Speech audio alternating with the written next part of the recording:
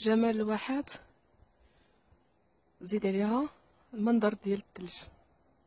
تخيلوا معايا المنظر كيف يكون.